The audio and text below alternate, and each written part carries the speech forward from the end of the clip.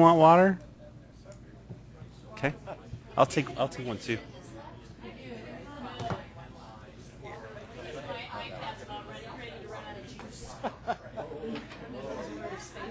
I know, right?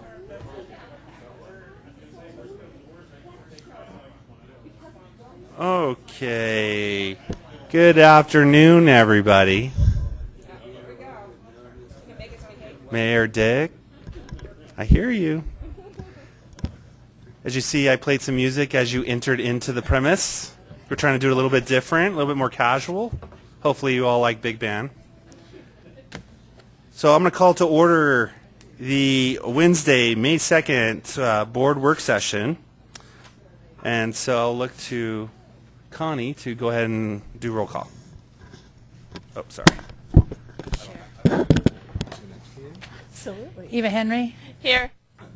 Jeff Baker, Bill Holland, Elise Jones, Deb Gardner, David Beacom, Randy Wheelock, Sean Wood, Chrissy Fanganello, Kevin Flynn, Roger Partridge, Laura Thomas, Ron Engels, Libby Szabo, Tina Francone, Bob Pfeiffer, Bob Roth, Allison Hiltz, Larry Vittum, David Spellman, Aaron Brockett, Margot Ramsden, Lynn Baca, Roger Hudson, George Teal, Tammy Maurer, Catherine Hyder,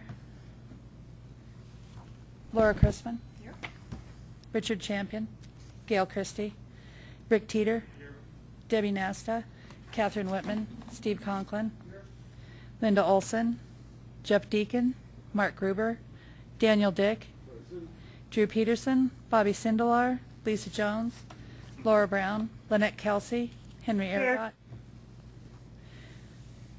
Connie, I'm on the WebEx. Yep, I heard you, Lynette. Thank you. Okay. Scott Norquist, Storm Glore, Jim Dale, Paul Hazeman, Ron Rakowski, Mike Hillman, Stephanie Walton, Christine Berg, Dana Gutwein, Jacob LeBure, Jerry Bean, Isaac Levy, Karina Elrod, Kyle Schlachter, Jacob Lofgren, Larry Strock, Win Shaw, John Peck, Marcia Martin, Ashley Stolzman, Bob Muckle, Connie Sullivan, Barney Drystat, Joyce Palazuski, Deborah Jerome, Sean Forey, Chris Larson, Jordan Sowers, Julie Mullica, John Dyack, Josh Rivero, Sally Daigle, Roberta Mooney, Rita Dozal, Mark Lasis, Jessica Sandgren, Jackie Phillips, Herb Atchison, Shannon Bird, Bud Starker, Adam Zarin, Deborah Perkins Smith, Bill Van Meter.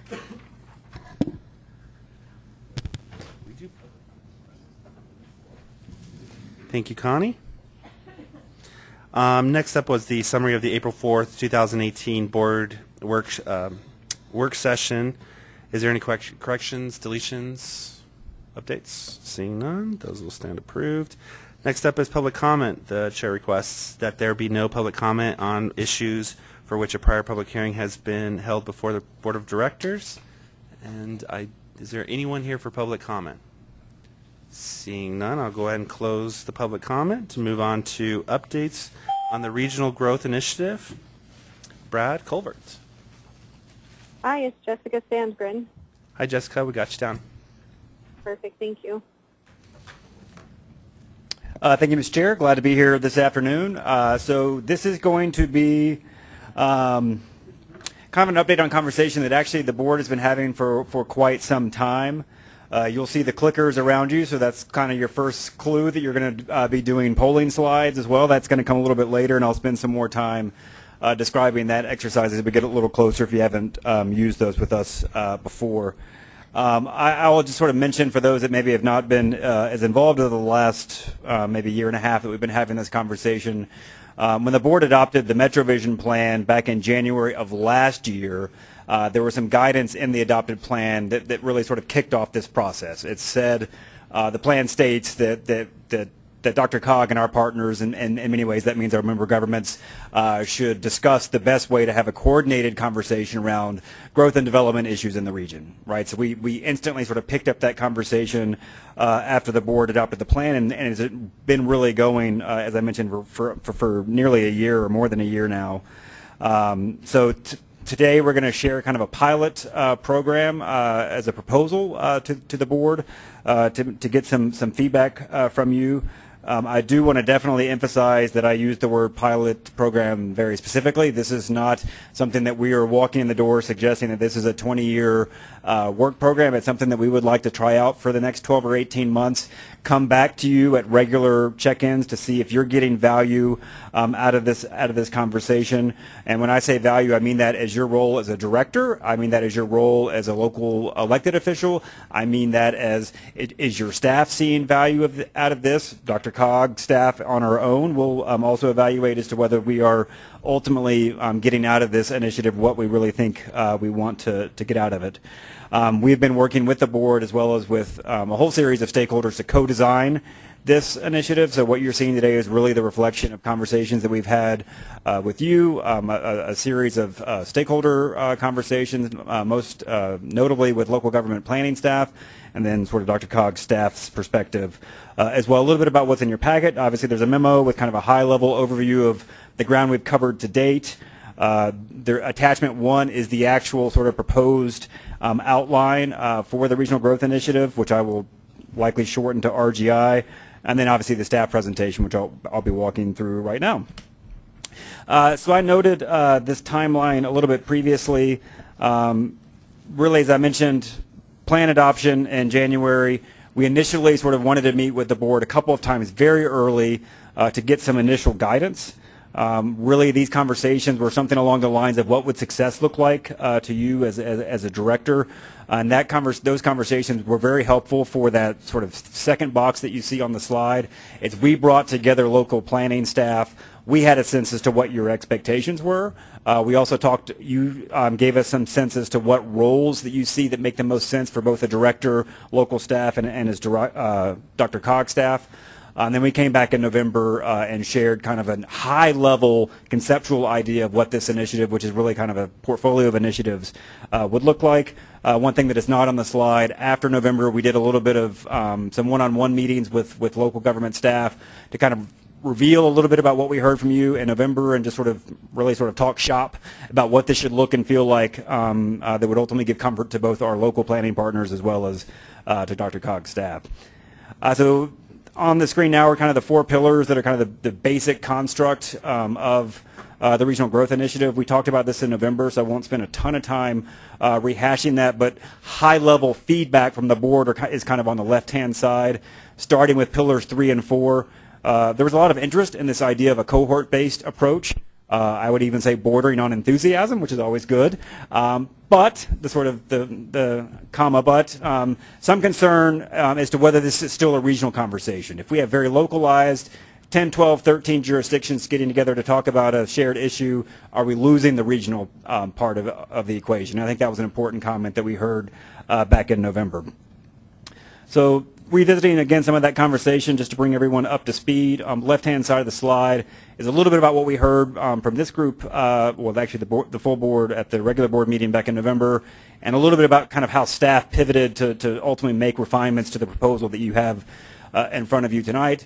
Uh, the board spent some, a fair amount of time um, talking about the current urban growth boundary, urban growth area program, and really recognizing the historical context of that program with, within the larger conversation about how this region is going to grow and what that means uh, for us as, as, as a region. Uh, so in terms of the, the right-hand side of the slide, kind of how we as staff took that and, and ultimately refined what you see in front of you tonight. Um, we really reflected on the intent of the urban growth boundary program from the very beginning. We thought about the very core pieces of that program and what it's designed to do, and we wanted to make sure that that, that was absolutely positively present um, in what you see um, in front of you this evening. The UGB is intended to promote plan consistency. Um, we think this proposal does that even more directly in the sense of going directly to your adopted local comprehensive plans and extracting uh, information from that, and we'll talk a little bit more about that um, sort of this role of translating local growth uh, priorities and commitments uh, to our regional forecast. We think we've done a good job uh, with that as well. And then anticipating uh, the implications of those growth patterns, and I'll, I'll cover that as well.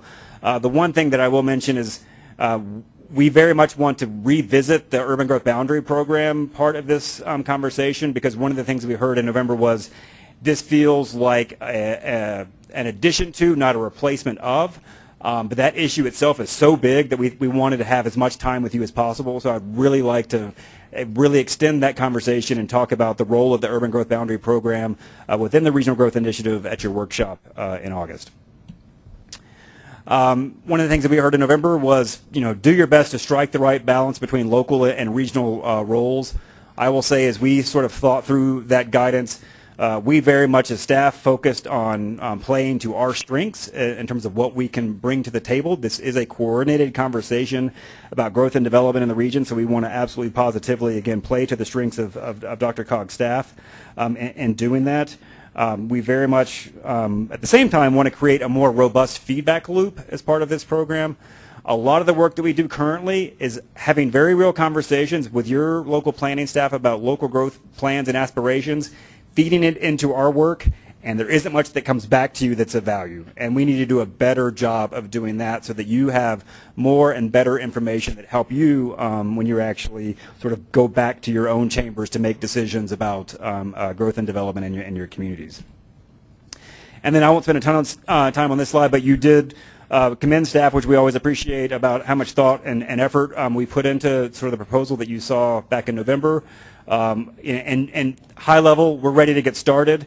Um, but as I mentioned earlier, um, you know, we have every expectation that this is something that is not push the button and we'll come back in a year and a half and tell you how it went. We very much have programmed very real deliverables um, along the way to, to ultimately come back to you to make sure you're getting what you thought you were getting and you can give us feedback and evaluate sort of each of the discrete components um, of this um, going forward. So continuing to check in with you is, is a high priority for us. So I'm going to walk you through um, uh, the work program, this sort of pilot phase um, that we're proposing. Um, it's in the slide deck, but it's also in that attachment one. Attachment one actually has a little bit more detail, so I think you could probably follow along uh, the presentation using using either one of those. Um, I will also mention that there's some slides in here that we called sidebar slides uh, that are really some additional research efforts that we conducted between November of last year and today. I'm not going to spend a ton of time talking about those, but if you hear something that's of interest, we're happy to come back and share maybe a little bit more detail about what we um, uh, discovered in that. And the other, th- the other thing that I'll mention before sort of jumping in is um, I had a few conversations after the packet went out that some of this is hard to follow. It's very conceptual. I totally get that. We still don't even entirely know what the right words are to describe this. Um, we're asking for a little bit of a leash here to, to do the work, come back, and figure out what exactly we want to call this, what is the right terminology. Um, so I will do my best to sort of think about describing this in plain language. Um, I will sort of borrow from our organizational development work that we do internally and describe to you sort of the sensory experience. What should this look and feel like just to hope help you maybe um, uh, uh, grasp some of this, which again still lives in kind of a conceptual uh, phase. Um, so in terms of uh, the growth research, pillar one, um, you know, in terms of the growth trends uh, reporting, uh, the slide emphasizes actionable research. I would actually emphasize, if I had to do this all over again, the word provide. this sort of goes back to what I mentioned before. Um, you know, there's a lot that we do at DRCOG that feels internally focused to get our products to the best possible um, in the best possible shape to inform our work as well as the decisions that you make. And we just simply need to do a better job of flipping that a little bit and, and creating more external products. Um, and the idea here is that hopefully these are the types of things um, that that really can ultimately um, be of value to you as you sit here, but also as you um, uh, think about your other assignments as, as local um, elected officials. Um, and the other key thing that I would mention is really that, um, the sort of that idea of um, integrating or what, what the influence is of local plans in our, in our forecasting process. Um, unlike some of our peer organizations, DRCOG does not have a formal role in uh, reviewing or even approving local comprehensive plans. That is not an unusual role for regional planning organizations in other parts of the country. We don't do that. So therefore, there's not this sort of built-in expectation that we are going to have the best possible information of the status of, of local plans um, throughout the region. So we're just simply committing to do a, a better job of collecting that information and understanding um, how it can ultimately, again, influence um, our work as we develop um, long-range uh, forecasts. You know, I'm not suggesting that we are going to sort of change approach and take a tact of uh, providing comments or feedback on local plans. We just simply want to have the best understanding of what's in them, right? So that we can we can reflect that in our work and frankly ask maybe better questions uh, along the way. Uh, so I mentioned uh, sort of the sidebars. Um, one of the things that we did is we wanted to kind of understand how um, the sort of current batch of local comprehensive plans in our region think about what we were sort of referring to as priority growth areas. Our, our local plans identifying these are the parts of our community that we really want to grow in the future. Maybe these are places that we would like to conserve for future growth. Maybe these are places that are more um, about uh, preservation. So we did a scan of a sample of, of, local plans, the four kind of that you see on the, on the slider from Longmont, Brighton, Douglas County, and the town of Frederick and I won't. You probably can't see all the terms, but there are terms that are that are like municipal service area, growth management area, priority growth area, rural communities, uh, primary urban area, et cetera. These are all places that in local plan adopted local plans have been described um, that really are of value to us. We, we need to understand your own local aspirations so that we can, again, make sure that our regional assumptions uh, reflect that. And so all of these things can ultimately play in to that coordinated um, and shared understanding of growth aspirations um, around the region. Uh, we view um, kind of the role of the um, of the regional growth initiative to translate this, right? To translate local work and local priorities into a set of regional uh, uh, planning assumptions. And as I, uh, I think I think I failed to mention this, but I have slides each in each of these sort of work areas to kind of describe your role, just to kind of maybe uh, paint that picture for you. Um, you know, like I said, we very much would like to spend uh, a longer period of time with you uh, at your workshop talking about the urban growth boundary um, contributions uh, to the regional growth initiative. Uh, we very much would want the board to help us prioritize and think through um, what research topics make the most sense to ultimately um, put in front of you for future information.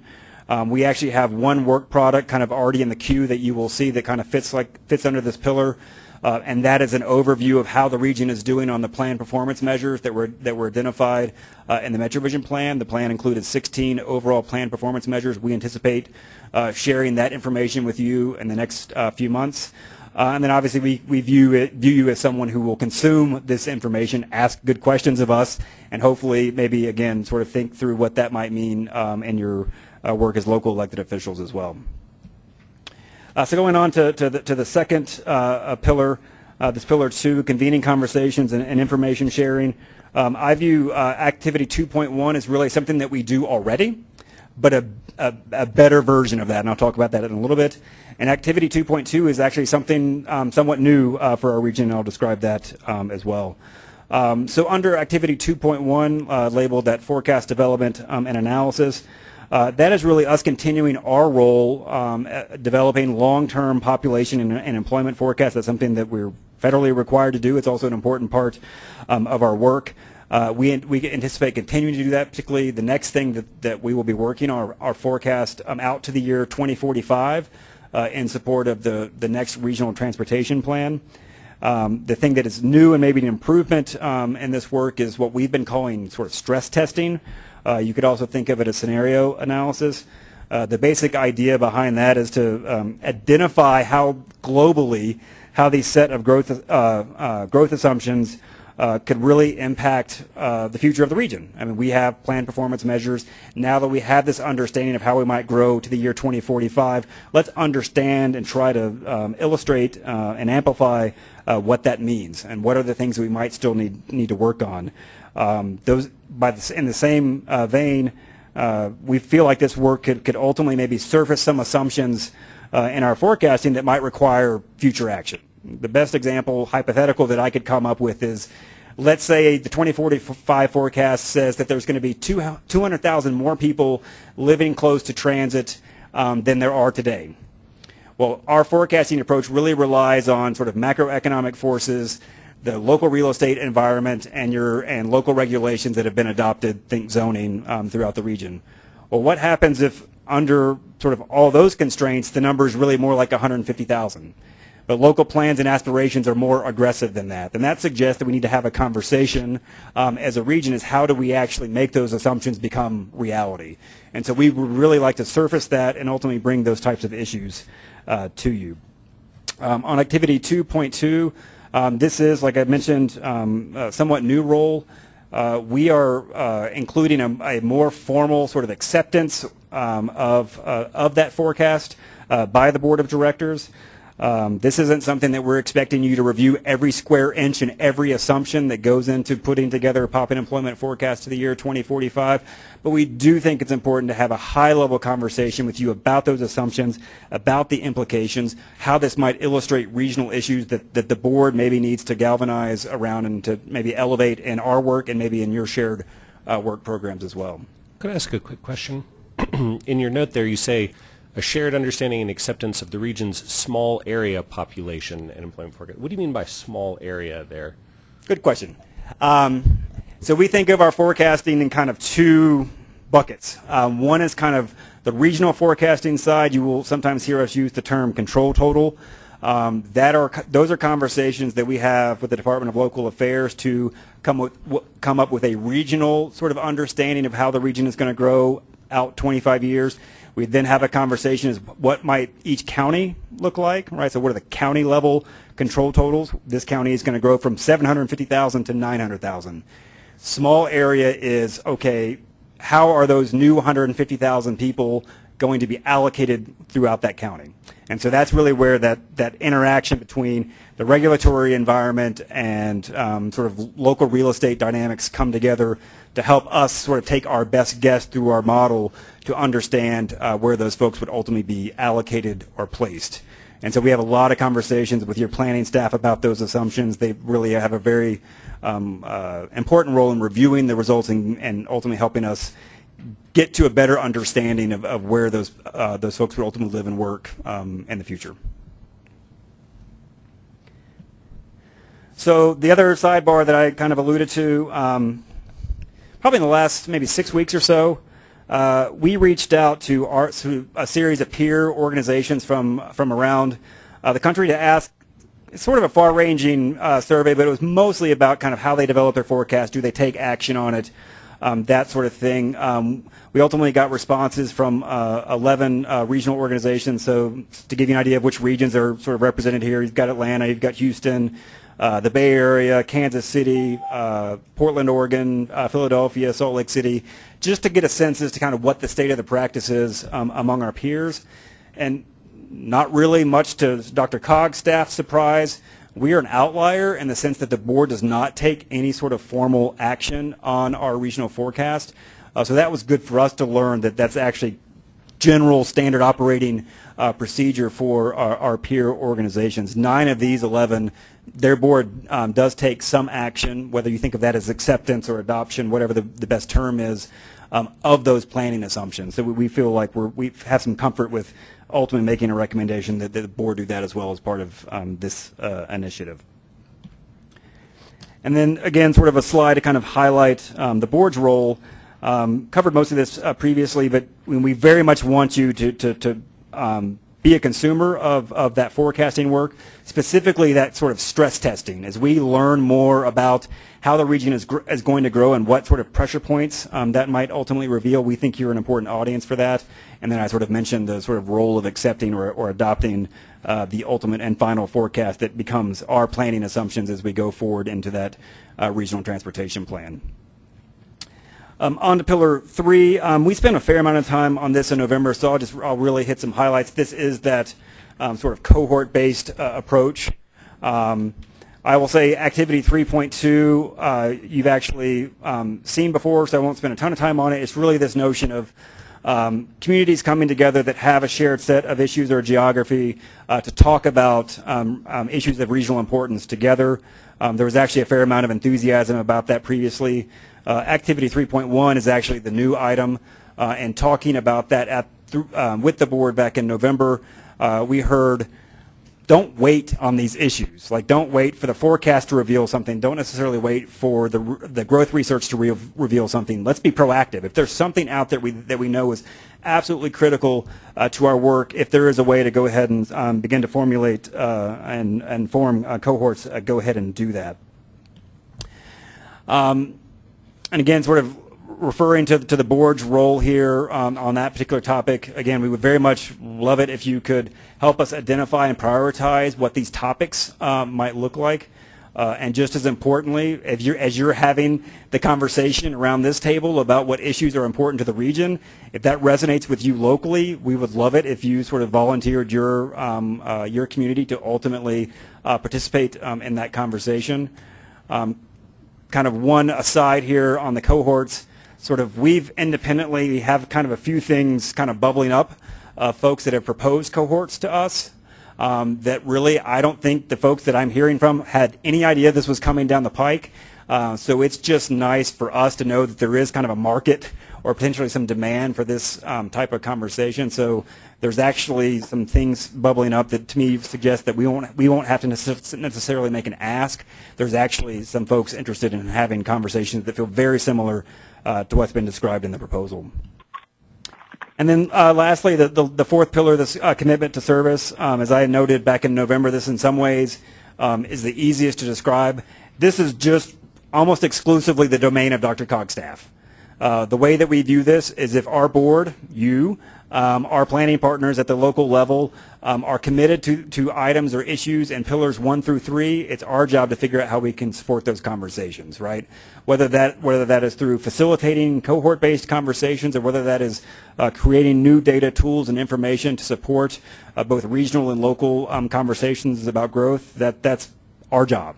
Uh, to, to, to again understand what the what the requests are and to ultimately uh, respond to that in our work program. Uh, and then again, and sort of again to sort of describe and walk you through um, kind of your role as, as directors. Um, you know, we hope that as, as a cohort meets, concludes their work, share, has findings to share, we would want to bring that um, back to you.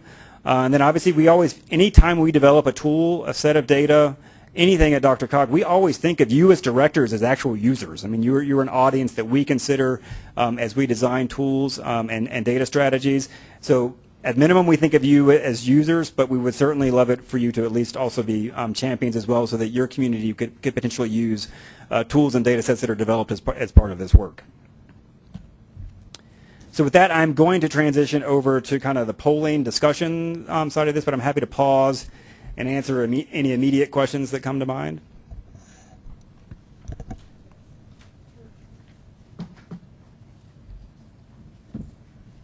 Real quick, can I ask, is anyone else joined online with us? It was Lynette, and there's two, one more. No, there's two more. Libby Szabo's on here. Hi, Libby. Hi, Libby. Hello. And who else? Okay. And I believe you can participate online with us on this next exercise, right? There is a way for them. Okay. Yep, I'll describe that. I think we had a couple. One more question for you. Uh, so you mentioned at the beginning that we'd have further conversations about the urban growth boundary. So the idea then is to reinstitute that in some form, or I'm unclear how that might interact with the this RGI thing that we're talking about today. I, I, I, don't I don't know if we have intent. I think the intent here is to sort of share with you maybe some observations of the first couple of months of what we're doing as part of the RGI, how that pairs, doesn't pair with the existing program, and to frankly maybe troubleshoot with you a little bit as to how we can continue to have what the board surfaced in November is an, an important conversation about sort of how this region um, grows outward and what that means in terms of um, need for services and impacts um, on the region. So I, I, honestly don't have sort of the, the magic answer that's exactly what we're going to talk about in, in August. What I simply want to do is maybe spend a few months get my head around kind of what particularly the forecasting work is going to look like and so that I could have uh, we can have a, a, a, conversation in August about how UGB fits in within the other work that we've started. Okay, thanks. And the, but the, the UGB program, if I understand correctly, it's it's inactive right now, right? I mean, like we're not doing that allocation stuff at the moment, right? Uh, we have a, it is, I wouldn't call it necessarily inactive. Um, the board, um, a couple things. The, the board took action in 2013 to delay that allocate, the, the allocation process that would have been associated with the last MetroVision plan. Um, at the same time, the board had a lot of dialogue um, during the development of the MetroVision plan that, that ultimately resulted in the UGB being sort of withdrawn from plan language. Um, it talks about those issues, but does not necessarily name that program specifically. So it ultimately gave us the charge to think through initiatives that would ultimately carry on that conversation, potentially including the UGB, potentially not including the UGB. And so we have sort of marched forward with an overall thinking of this regional growth initiative and sort of put a pin in the urban growth boundary program until we can get a better handle of what's the other stuff uh, that we're talking about here. And then again, we'll come back to you in August to maybe have a little more framed uh, conversation about, about that. Okay, Thank you. Director Beacom? Could you clarify, just as a, uh, so I have the same concept that I think everybody else is working off of, what is exactly is our definition or our assumption of what a cohort is or should be? Sure. So we generally think of cohorts as either being, and, and this is our narrow definition, sort of topically based or geographically based, right? And so these may be communities that um, are all, because of geography, have uh, new, to borrow the transit station, have new transit stations, but are dealing with first and final mile connectivity um, and connections to those station areas, right? So that's really both an issue that's also based in uh, geography, or they could be topically based. It could be um, uh, communities that maybe are uh, sort of on the that are transitioning from more rural land uses to more urban land uses that are trying to sort through like how to actually go through that that process. Director? Sure. Director Crispin? Well, you know, this is one of my issues, is open space and trails. Um, I would think it would be helpful for communities to have some agreement, since we've already identified we want connectivity uh, on trails, we want people to have access to parks and connectivity to parks and open space, but I don't think I, as I recall, like a uh, cemetery can be an open space. And, you know, I don't really think we need a lot of connect, maybe we do. Uh, but as we design the growth or look at the growth, I think we do need some cons- consistency as to uh, what kind of co- connectivity we want. Is it a share row, which is just like taking your life in your hands? um, or is it a, you know, a designated on-road trail? Is it designated off-road trail? Um, you know, how are we going to create what we think is beneficial? And how can we at least be talking about the same things? So is, is that, Sure. So I'll, I'll give you, um, and my, and as I've sort of walked you through this evening and in previous conversations, I, I've been very much, if I haven't said it, I hope you've made the connection. I've been talking about our work program as DRCOG. Like, what can we do on these issues in service uh, to our members? Have not spent a lot of time talking about things that we can do where we are actually more in a partnership arrangement. Um, so your issue is, is one of those. Um, I am currently serving on the interim steering committee of the Metro Denver Nature Alliance, which is a brand new um, nonprofit uh, in the region that is that is forming just to have that issue um, surfaced uh, throughout the region. How can we build on our natural amenities and our and our recreational amenities and create the the highest degree of access um, throughout the region um, on those issues. They have two primary work program items that have been identified. The second one is um, a regional vision for parks, open space, and conservation, and how we again take advantages uh, advantage of the resources that we have. Uh, and so those are the types of things that we slot in, but they're more on the partnership side of things versus maybe us as DRCOG convening the conversation or facilitating uh, the work in some way. But we are definitely active partners in that. Any other questions online or in the room? Okay, go ahead, Brad. So we are, this is when the clickers come in. So if you do not have a clicker, wave your hand wildly. If you are online, I'll explain how you can participate so that you are not, not included um, in this conversation. Um, as a reminder, this is obviously not a formal or binding vote. Uh, this, can, this group does not actually take action during work sessions, so that wouldn't be appropriate um, anyway. Um, as I noted earlier, th- these questions that you're going to see in front of you this evening really build off some previous conversations. I won't get, I won't revisit this too much, but in May of last year, we asked you, how would you actually evaluate what we're kind of talking about in broad terms? We're now circling back with a little bit more detail and asking you a pretty similar set um, of questions. Um, so really, it's you know you talked about expectations and roles uh, uh, back in May. Um, in terms, so you, you I, I will come back to the people online when we have a slide of that. It'll be easier to, to talk to. So, um, as we oftentimes do with these, we are going to put up um, a test question so that you can make sure your your, your clicker is working. There we go. Um, so our warm-up question, is your jurisdiction registered for the Bike to Work Day Business Challenge? You'll see on your keypad one, two, and three. If the answer, your answer is yes, hit one. If it's two, no. Three for not sure.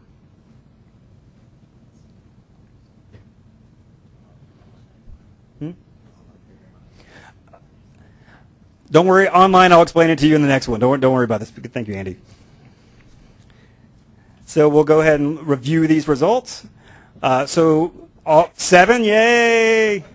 Uh, if, if you are a no or not sure, um, you can absolutely positively talk to Celeste. Celeste, wave, wave your hand. Yep. Yes. And then I also say if you're shy and you don't want to talk to Celeste, if you actually Google or your favorite internet, internet search engine, Bike to Workday Business Challenge, it's the first thing that pops up. So if you can't catch Celeste today, some other time would be fine. Okay, so this is when I'll explain, I will pause on this for a second to explain the slides and a few other things.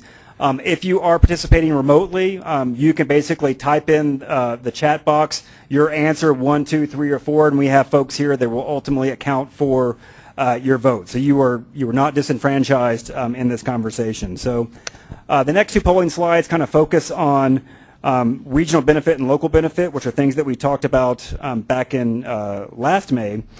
I will tell you that we are asking things on a four-point scale. Uh, that's because Jerry Stiegel, our Director of Organizational Development, has just bluntly over and over and over again talked to us about the importance of a four-point scale. It means if you're leaning towards agree or disagree, you have to choose. You can't pick um, kind of a neutral option, which sometimes people um, tend to want to do. Um, I also understand that, that you may not know enough right now to vote. Like you're just not quite sure you actually would prefer to just abstain. Normally when we track these, we actually calculate percentages, but today we're actually calculating raw total number of votes. So that will at least give staff an idea of, okay, we've got 20 people in the room, but only 12 voted. That suggests eight just weren't sure enough how to vote. So that tells us we still have some work to do. That's, that's some data points um, for us um, as well. Um, so again, I'll, I will read uh, the question at the top of the slide, and then one, two, three, or four, strongly disagree to strongly agree. Uh, regionally, this initiative will help us maximize the benefits of growth and minimize potential negative effects. And again, if you're online, you can um, uh, type it into your chat uh, feature, and we'll have staff here that will that will enter your um, enter your vote.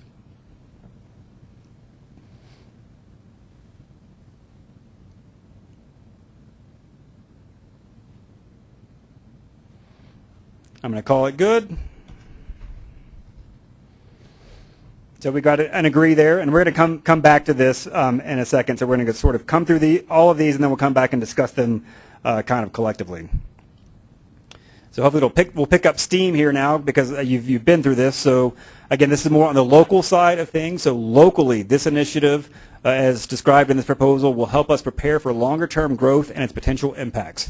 This was something that was identified in, in May as sort of a hope or expectation of this program uh, for the board.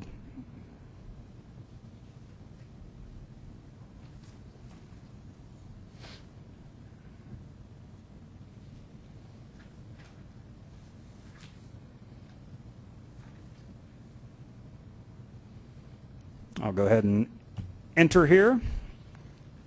Similar uh, to the to the previous. Are you keep? Are you okay? Cool. Um, next, uh, we talked in May about sort of roles for for both DRCOG's staff and as you as director. So we've got a couple of questions related to that. So how strongly do you agree or disagree that this initiative will allow DRCOG staff uh, to serve as facilitators? That was a word that you really gravitated to when we talked about this uh, last year.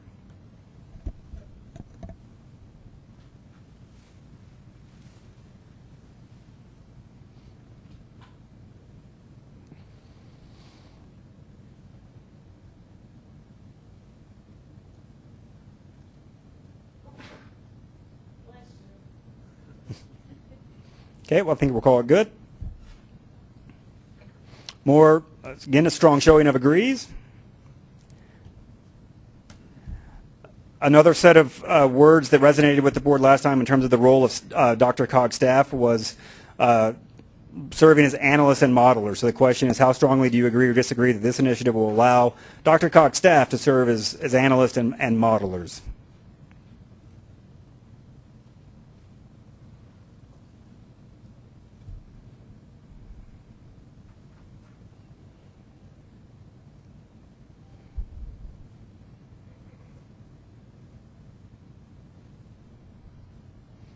Think we're good on this one. All on the right-hand side, that's good. Uh, so we also talked in May about sort of roles as, as the DRCOG board and how that how what roles what words would describe your role um, as an individual director. The number one choice was actually representative, which I think is pretty self-explanatory. But number two and three were clearly separated from the other choices, and those were the words uh, uh, prioritizer and balancer, which I understand are kind of fuzzy words. Based on a year's worth of dialogue on this topic, I tend to think of prioritizer meaning prioritizing issues that, that DRCOG um, works on and potentially even prioritizing investments. And then I think a balancer is sort of balancing your role as a regional director, but also um, getting value as, as a local elected official as well, and hopefully getting uh, value in both of those uh, roles.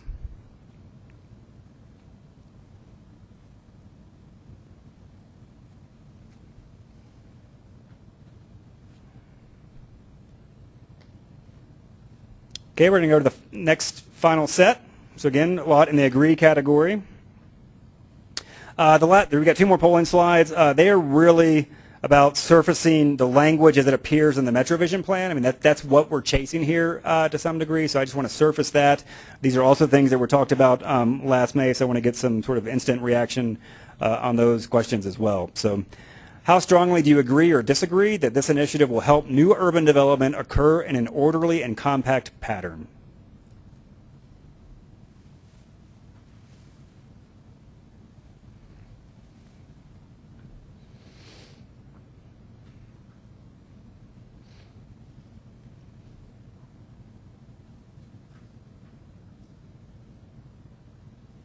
I think we'll go on to the final polling slide. It's a little more mixed um, on that one. So again, last uh, polling slide, how strongly do you agree, disagree, that this initiative will improve growth priority coordination and designation between DRCOG and local communities?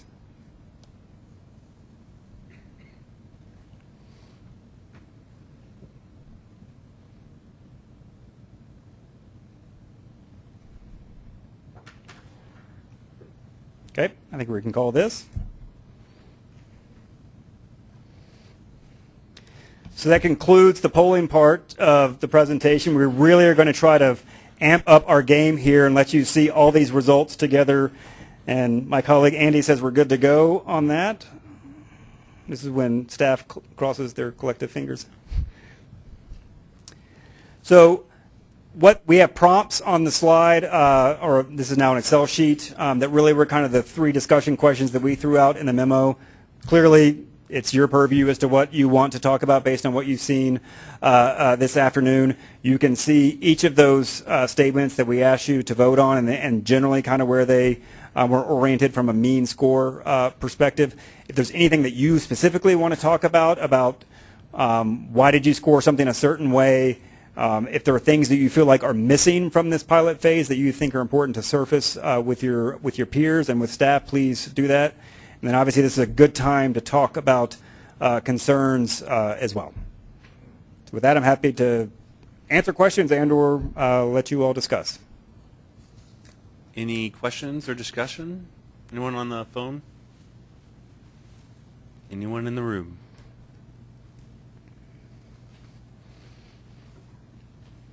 Director Elrod?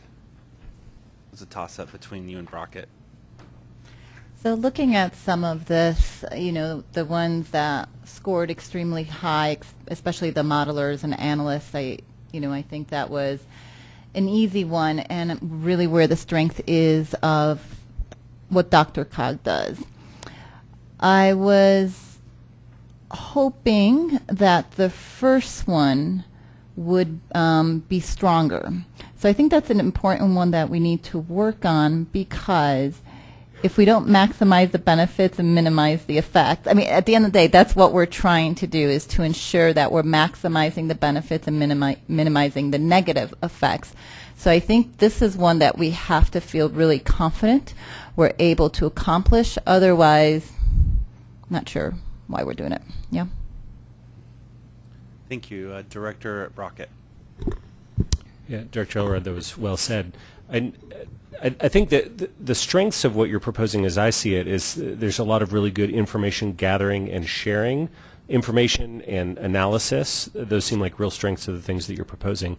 But I don't see any attempt to guide or shape the direction that we might proceed in. And I think that's to your point, and I think that's why the things that we're scoring lower were about are we maximizing benefits, minimizing negative effects, are we helping development occur in an orderly, compact pattern? Because I didn't see that coming out of what you're proposing. I don't see ways that it's improving things. It's really just talking about what is happening and what might happen. So I, I, I'm, I'm not sure exactly how to change that, but that seems to me to be missing. And I'll quickly respond to both. of I understand I'm asking you to evaluate something that are just words on a page and sort of this construct and concept right now. But I think what we've heard from you consistently is important for us to, to understand, right? As we, as this becomes more real and there are more products and deliverables, I think they will ultimately inform that exact type of conversation. But I think we've got to get to the sort of information side of things first to have the best version of a conversation about what, what that means. What, what direction does that uh, take us to from an, from an action standpoint? That's at least the way that we've been thinking about this. So. Director Fanganello. Well, it, you, you just stole my thunder, actually, because I was going to say that I think what's most important about this is the information. And looking at, you know, where we do have the high scores is that we, it, it seems as though we see that this is a place where we can bring more information that can help you guys facilitate, that can help us analyze and model things differently for us to make decisions. And, and I think without having that in front of us, it's hard for us to kind of say how the other ones are going to go. So I think that we've got higher scores on 23 and 24 is really important and, and positive because I think people see the potential that this tool might bring, and, and then how we choose to use it moving forward is, is a whole, that's a whole nother thing. Director uh, Crispin. I know I'm going to get blamed for being an attorney and wordsmithing, but it was the maximize and minimize language that bothered me because you almost need a crystal ball. Hindsight's always 20/20 to figure out what are the maximum benefits and the minimum. For, so for me, re, if it were to read regionally, this ini- initiative will help us identify the benefits of growth and identify potential negative effects. That sounds like what we'd be doing. I don't know that any of us can figure out what is the maximum benefit or the minimum negative. Director Shaw. Thank you. Um, I, I actually wanted to build uh, a little bit on on some of the other comments because I I do think to the extent that if there's analysis, forecasting, modeling, facilitating, um, that most of us will come to a good conclusion um, without any, you know, external forces. So it allows the local governments to make decisions and to try and help those be a, a productive part of the the big area um, vision, goals, outcomes. so I, I, I do think that part is positive. I like um, Director Chrisman from your point of view that uh, you know even trying to draw that more strongly, um, encouraging and and uh, helping us draw the conclusions might might be valuable as well. Thank you, Director Teal. Thank you, Mr. Chair. Actually, I'd like to um, reinforce a bit what we heard from Director Fanganello in that, you know, um, and Brad, by all means, correct me if I'm completely wrong on this, but this harkens back to a conversation we had uh, back in the good old uh, MVIC committee, um, going several years back, Bob, and I think you, you it's worth the discussion we had of should the role of DRCOG be the police station or the university. And so, I mean, I think, just as the director mentioned, that, you know, we have a good score going with 23 and 24, I think because that is definitely where we all share the same values about we want to be more the university. We want to be the place where we have that repository of knowledge, where we are doing that analysis, and it becomes the, the think tank, if you will, for the region. So uh, and I think the scoring uh, shows that very clearly. So perhaps that's where the initial en- emphasis must go. And then as we start building that knowledge base and we start building that information pool, from there we can start exploring further out um, what some of these other questions did touch on, but obviously don't share quite the same, um, you know, concurrence among everyone. Any questions or comments online? Okay, seeing none, I, I just have just one one comment is on 27. Um, coordination between DRCOG and local communities. Uh, I I think it should also be even amongst other communities that are neighboring. Um, I mean, the live situation for Arvada is we are, our growth boundaries between us and Wheat Ridge have been in confusion stage for a while and we have to now create an IGA just so we're clear on our horse-tooth borders. Um, so when I look at that particular number 27, I I think there's a role that DRCOG can help facilitate. I know it's a neighbor, um, but to make sure we're all on the same page because even our land use was way out of uh, alignment to our neighbor. They were doing low density, we were doing high density, and it was dramatically different. Um, so when we look at growth, you know it's, I think it's important when we start butting up against each other and how we make uh, cohesive neighborhoods. So, anyways. And, and I'll just add that as, as DRCOG's staff, we viewed that as a very potential value that could come out of this, and we've also heard that from our um, uh, local planning partners as well. I just haven't surfaced it as much in the, in the presentation, but we see that for sure as being a benefit. Yeah, absolutely. Yes, sir. No, I, I appreciate that com- uh, comment, Chairman. I, I, um, I agree with you, and I think that's part of the benefit of this whole co- cohort idea, right? This concept would be, you know, I just think I'm, I'm personally, I'm, I'm pretty impressed with this this approach. Um, I've, you know, I've gotten a little more, little more background than you all have with this when I'm talking to staff and all. So, I mean, I, I, I understand that this is all relatively new for you all. But I think what we've done in the past is that you know we developed this long-range regional transportation, or not even transportation plan, MetroVision plan, and um, as staff we kind of stopped short, right, as what the next step is. We give it to you and like, good luck. And I think that what this is trying to accomplish is to be more proactive and interface more with your staffs and your communities to provide examples and, and possible solutions, right? So this research side, and I appreciate that metaphor. I'm, you, I'm, I was I was thinking, God, I wish George was here earlier because there was that there's that metaphor that you used, and I think it's perfect, right? It's because it is it's part research institute, university, and then the opportunity. Then once we associate, you know, these these issues, are there are there cohorts of communities that would like to work together on that? So, for example, uh, workforce housing. I mean, I don't, probably don't know need research to know that we have an issue with workforce housing, but we isolate in certain areas of our region where it is significantly low. Are the communities within that area willing to work together, right? It gets back to your original comment to have that discussion about how we can build that up to an, an acceptable level, for example. Um, so, you know, so issues like that. So I think it, it really truly is, and we've really searched and tried to find opportunities to interface more with your staffs and all, and hopefully this will do it. And I'm, I'm, I'm excited actually about, about the, uh, the pilot uh, portion of this. And I'll add one thing that uh, it's, a, it's a word that actually Director Dyack said, I don't know, a year ago was consultative, and that that word has really resonated with us. And just one sort of very specific example that's less about cohorts and more direct communication and coordination between DRCOG and, and member governments. Um, we've had some member governments that have been working on comprehensive plans that have reached out to us very early to say, what actual population and employment estimates should we use as the foundational assumptions for what we're planning for?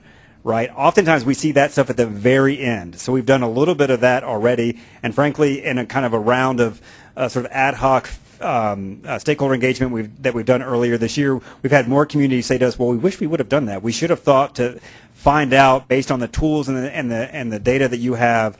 Is our is our future number 300,000 or is it 260,000? Because that changes um, dramatically what they are going to plan for, what sort of land use patterns, what types of growth and development um, issues that they expect to ultimately respond to um, in their planning framework. So we, we hope that this ultimately results in more conversations like that. Yes, uh, Director Maurer. Um, I was just, I kind of got caught up on um, 25 when it was talking about prioritizers and balancers. So, so I, I'm thinking that it, we're, we're gathering the data from our plans and so forth, and you know, you do the analyzing and so forth, and then we look at that as a board and say that you know that's what we're going to prioritize, or no, maybe we need to balance. I, I guess to me that was action words, and I didn't kind of gather that that's what this was. Yeah, I, I'll take another stab at that. Like, I can't remember, um, Director Maurer, if you were here for that conversation uh, back uh, last year. We put up, I think, 10 words to describe the potential role for the for board of directors um, in this conversation, and some of them were pretty easy words to define and recognize. Those two were pretty hard. Um, and they ultimately were something that, that people gravitated to, but I'm not, I'm not quite sure there was sort of a clear accepted definition of what they meant uh, from folks around the table that were voting. But as I mentioned um, earlier in my presentation, just based on a year's worth of conversation, to me, prioritizer at least serves two functions. Um, it is uh, prioritizing our work, hearing what comes out of this, and telling me like it feel, this feels like something that DRCOG needs to work on. Cool, you've prioritized and said maybe this is an issue that we have we as an organization have maybe not been front and center on. You're suggesting that maybe we should be. That's great. There could also be some prioritization when it comes to um, uh, funding and resource investments. That's clearly a decision um, that you need to make, but you will have better information about um, growth and development uh, trends and dynamics in the region that might, again, take you down um, that path. On the balancer side, it's really it's a I, we have heard pretty consistently this idea that this ought to be of maximum value to your role as a regional director and your role as a local elected official. And so I'm I'm that is sort of the holy grail for me is that I am producing stuff that you eat up and love to hear about um, as you sit around the board table here, but that you also call me uh, on Thursday and say, what was that thing that you talked about? I really would like to have a conversation with council about this because it is sort of this bigger macro issue that is happening in the region that we in Centennial need to sort through and grapple with um, on our own. So that that's my hope as to what uh, the board has emphasized in giving um, us direction as to what you see as your role in this. Any other questions? All right, seeing none. Thank you for your patience. Very much appreciated. Thank you, Brad.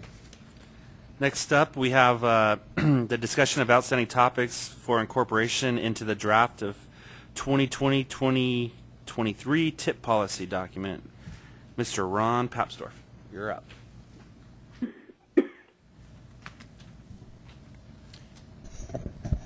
Thank you, Mr. Chairman.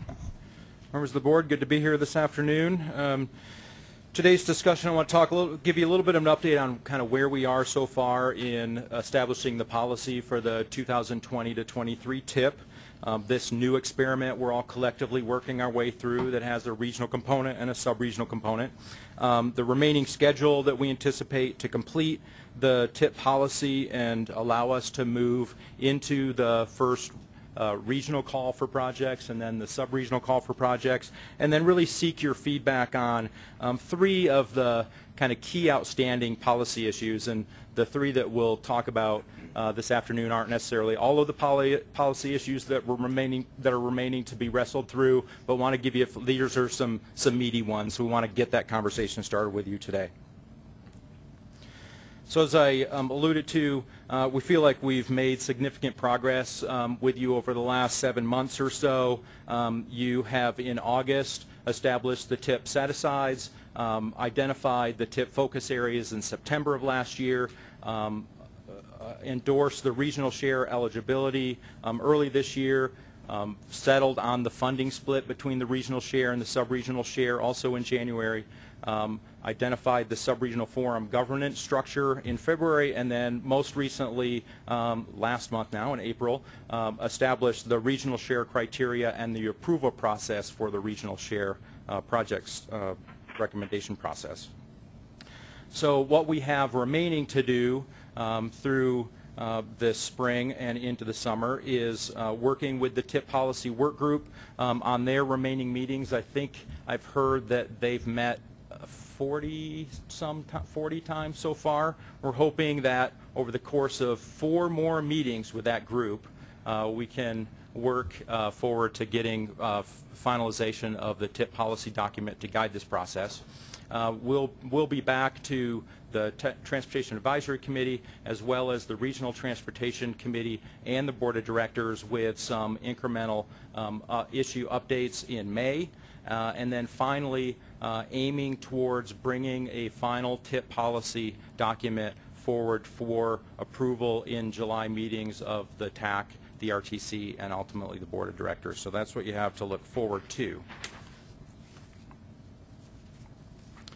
So um, kind of the, the three sort of policy areas we'd like to discuss this afternoon um, with you and get and seek your feedback on initially are the sub-regional share criteria, so following on the previous conversation we've had around this, the regional share criteria, um, the, the, some uh, discussion on potential limits on the number of applications to be submitted in the sub-regional share process, and then talk about um, how we deal with any consequences for um, sponsors of projects that are in second year delay. So on the subregional share criteria, uh, based on some initial um, staff conversations as well as conversation with the TIP policy work group, um, we're, um, we've identified uh, giving each of the subregional forums uh, an option of three processes to use for the subregional share criteria. One would be to use the regional share criteria that you have endorsed as is. Uh, second option would be to use that, that regional share criteria with some alternative scoring or weighting system uh, as the subregional forum deemed appropriate for that subregion. And then the third option would be to really create your own criteria by subregional forum, uh, criteria and scoring system, though we believe it's important to have some acknowledgement of the MetroVision um, components in the regional share criteria. So that would be the TIP focus areas that the board has adopted, the transportation-focused MetroVision objectives uh, from the regional share criteria, and then really at least the answering the three questions from part one of the regional criteria, which is the why is the proposed project important, how will that proposed project address um, the specific transportation problem that's stated in Part 1, and then how will connectivity to different travel modes be improved. Our goal uh, with this process is to really provide the subregional forums flexibility to address local priorities. Uh, we think that was the intent of having the regional and the subregional uh, components this tip cycle, but with inappropriate sideboards because ultimately, collectively, what we're trying to do is implement the MetroVision regional transportation plan. So having some sideboards uh, around the flexibility allowed to the subregional forums is the intent here. Um, I think the initial conversation at the TIP policy work group was uh, general agreement that um, the regional criteria was the right place to start and allowing some flexibility for the subregional forums to um, adapt that regional criteria to their circumstances was appropriate. So that I'll take a pause and um, kind of maybe ad- ad- uh, ad- address each of these policy issues one by one as we move forward. Any questions, comments? Polling, I didn't set this up for. Director Elrod. Am I on? There I go. So we've modeled this uh, through studying other areas that have done this. How, what recommendations or what have we seen from those other areas? Which approach did they take? Thank you, Mr. Chair, um, Director Elrod. So my understanding is that Puget Sound is sort of the model for this, and they generally kind of have the a, a broad regional framework and then allow their subregions to adapt that. So was it a B or C? Um, kind of the B option.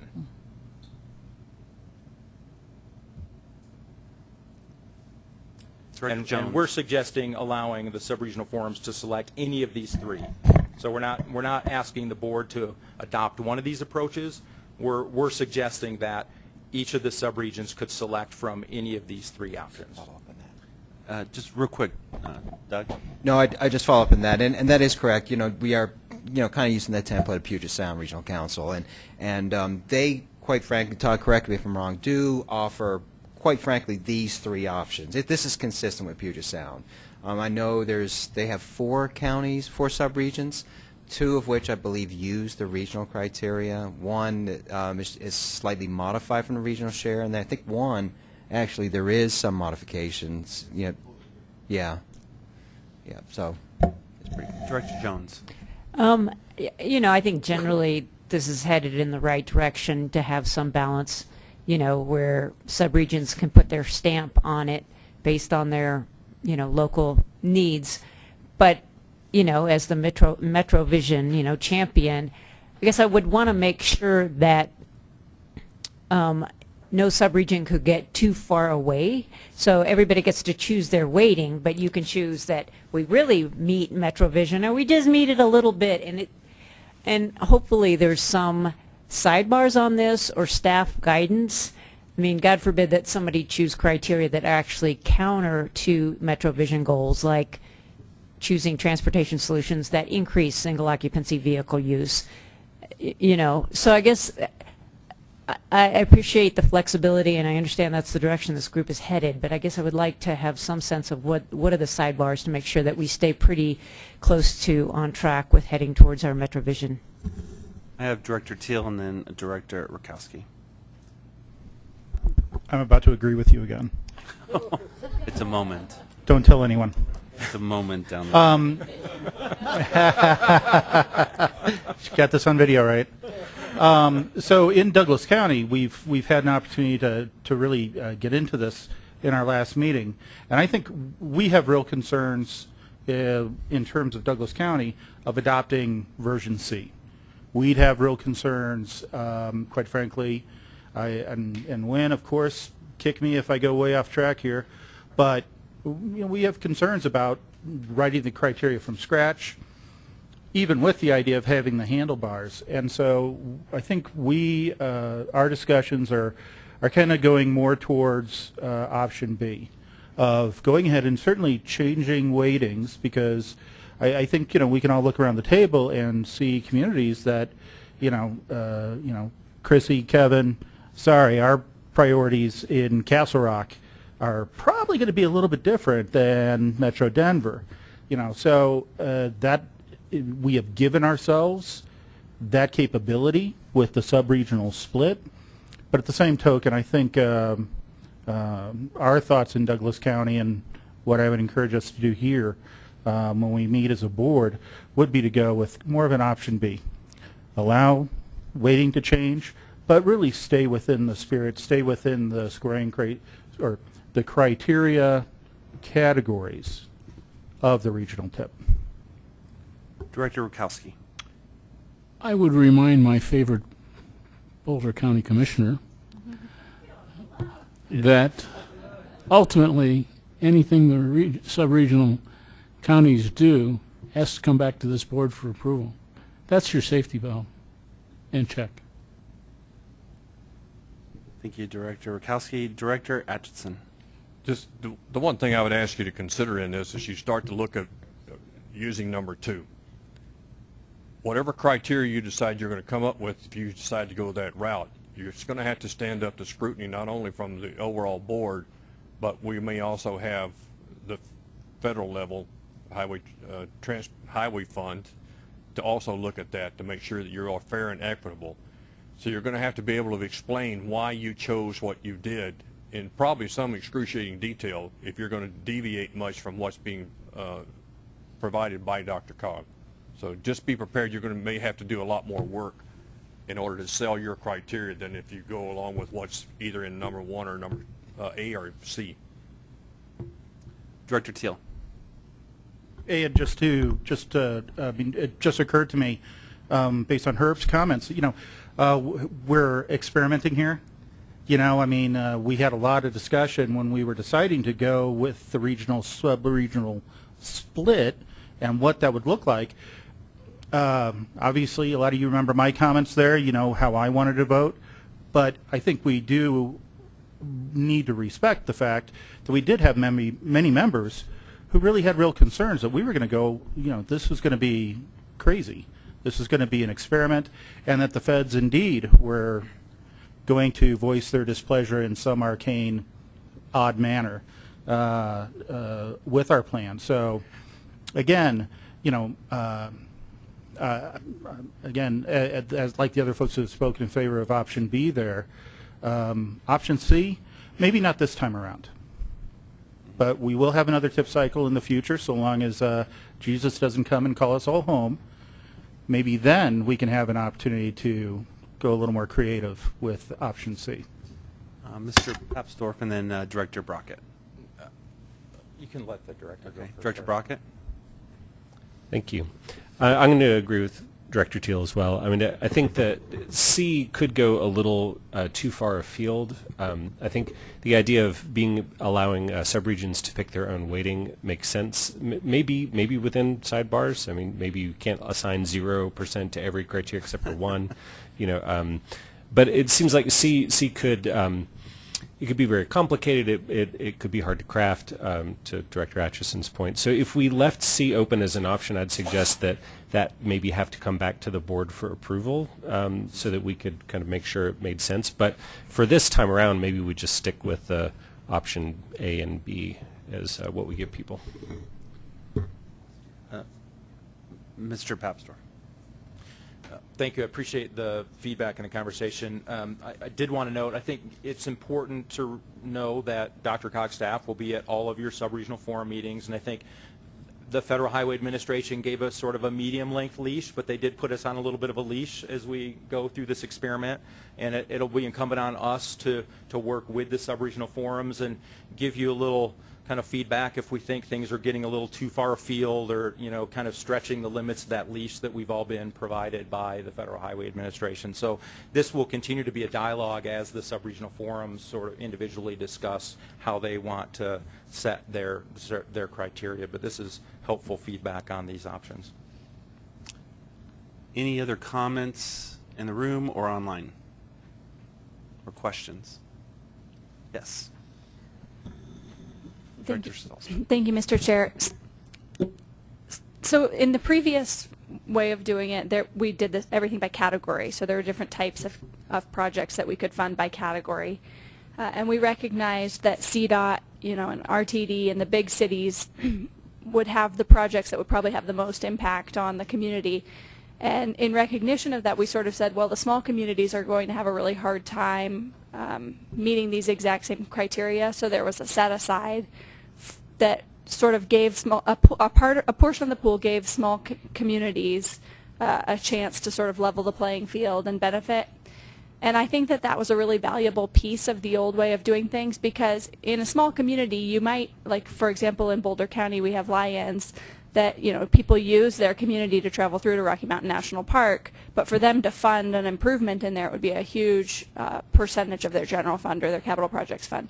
So it really helps identify and address projects like that that really are of a big impact to a small community's budget.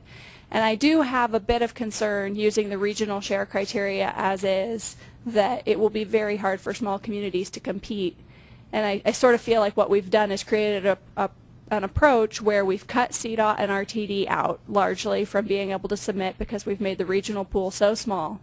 We've made the subregion sort of exclusive, and now if we're using these regional share criteria, my possible concern, which may be, you know, misplaced, but is that the larger cities really will benefit at each phase of this, which is good, and there are lots of good projects, but I think we may be missing the CDOT, the RTD, and the small communities uh, with this approach. So I'll, I'll just be watching for that and kind of uh, evaluating that as we go. Thank you. Any other comments or questions? Mr. Papsdorf, do you have your feedback, or do you have any more I, to share? I do, I appreciate that. So I'll move on to the next policy area. This is the sub-regional share application limits.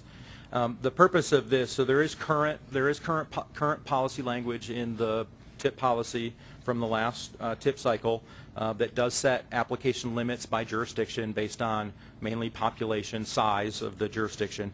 The purpose is really is to provide sort of a fair and balanced process for jurisdictions to compete for funding, um, but setting limits that uh, reflect sort of the amount of the money that's actually available uh, to be distributed uh, through the TIP process and really have an efficient scoring and review process. If we, if we didn't set any limit and any jurisdiction could submit as many projects as they wanted to, we could end up with a thousand applications to try to go through um, at the sub-regional level. That's probably not very efficient or effective for any of the sub-regional forums. Uh, we've also heard some feedback that some of the sub-regional forums may be asking DRCOG staff to play a role in the scoring or review, technical review of project applications for the sub-regional share. Uh, so that plays into this as well. Uh, so the current policy outlines the maximum number allowed uh, per jurisdiction. Um, again, that's based on uh, mainly population. There was a table in the in your packet that showed what the current is. Um, if we if we stick with something along those lines, we've discussed that one, we want to update the population information so that it's most current information that we have that we're basing that distribution on, uh, but also consider that you know the the sub-regional share of the pot is 80%, not 100% of the total amount of money. So maybe there's maybe that should be um, factored into what the limits are. There also would be have to have, have, to have a discussion about the city and county of Denver, which is its own sub-regional forum, as well as the city and county of Broomfield, which is, is its own sub-regional forum, and whether or not sort of the old limitations that were placed on them as two jurisdictions among many uh, competing regionally is is still appropriate when they're really their own individual sub-regional forum um, and sort of competing against themselves for a piece of the of the sub-regional share project. So option A would be uh, to kind of keep this policy in place again, uh, providing that fair and balanced selection process. That's thunder. I guess someone really likes that or doesn't like that option. Um, option B would be to, to not limit the number of applications. We had an, initial conversation with the TIP policy work group around that. Um, I think the, the general feedback was um, initially al allow the sub-regional forums to sort of set their own limits uh, within the sub-regional forum. Um, I think the caution that we have as DRCOG staff is, again, if sub-regional forums are going to be asking us to play a role in the review, uh, either scoring or reviewing because you want sort of an independent third party to kind of do that part of your process for you, and then and then you take that into consideration as you're formulating your recommendations. Um, there's a limit to sort of our ability to review applications, and so we would want to have some reasonable sort of constraints around the total number. Uh, the other part of it is it's just it's not efficient, right? If you if you have so many projects to choose from for this what is really a pretty limited pool pool of funds. So with that, I'll, I'll, I'll conclude and kind of throw that back to you. Director Henry. I have a couple of comments. One, Broomfield and Denver, you are so lucky. Just saying. I, and I, I appreciate, you know, the DRCOG staff pushing back, but I, I kind of agree that the subregion should be allowed to decide um, on what they can handle um, themselves. And if they choose to include DRCOG's staff in helping them, you know, look over the the applications, then maybe, you know, they can have that conversation with DRCOG. But I honestly feel that the subregions should be allowed to make that decision for themselves. As a mother, um, I remember one of the toughest things to do is to let my children go and, you know, be, you know, prosper So I, I'm, I'm asking the DRCOG staff to let us go and prosper. Um, I know you want to mother us, but it also ends up to be smothering us. So thank you for that. Uh, Director Jones. Um, I- I tend to agree that maybe the subregions should decide on the submittals because it's really going to vary f- uh, dramatically from subregion to subregion. If you don't have very much money, you're not going to, you know, maybe you know already that you just want to sink all of your money in one or two projects. So that's, and, and then other subregions that might be very different. I think maybe where the limit should be is how many a subregion could submit to DRCOG for analysis because you have a finite staff.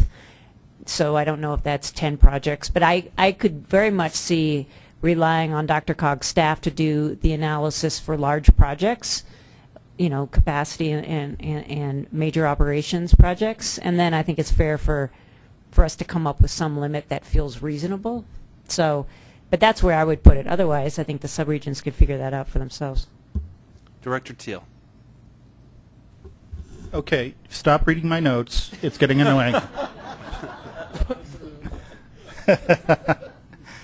so what she said, no, and, and what Eva said, uh, no, I think uh, I, I do, I do very much think that we, uh, it is would be a fine for DRCOG's staff to establish what is the maximum number for analysis to get that additional analysis. I think that's fully reasonable, um, but uh, maybe we're fortunate in Douglas County. We don't have a, a very large membership. I think we're talking eight entities that we're bringing in on the subregion. So, um, yeah, I would hesitate to try to set an upper limit uh, per subregional that, that they would that the subregionals would go through the analysis with. Thank you, Director Shaw. Thanks. I would, I would say don't limit the subregions, but uh, to the number of, of applications. However, um, you could use what was in the packet as a guideline of the maximum that DRCOG would review. Then you've, then you've got your limitations on workload and say, if it's Douglas County, we'll take your top seven projects, or fewer. Director Vittum.